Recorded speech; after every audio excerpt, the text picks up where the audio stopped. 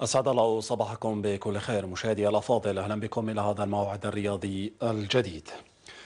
بداية عادت تشكيلة المنتخب الوطني خائبة إلى أرض الوطن في ساعة مبكرة من صباح اليوم.